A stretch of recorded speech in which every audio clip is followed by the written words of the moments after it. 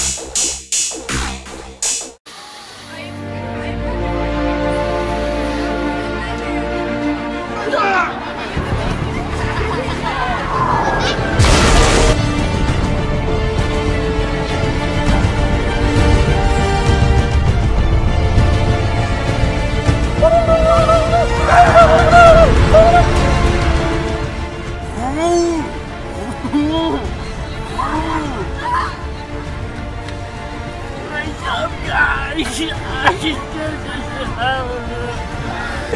Yeah.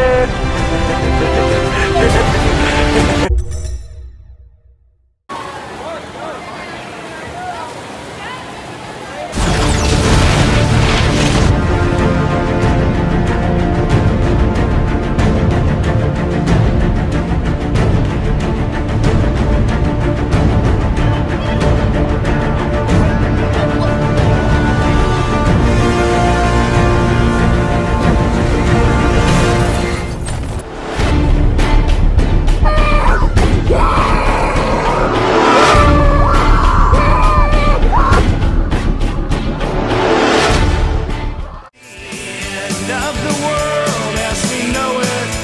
It's the end of the world as we know it, and I feel fine.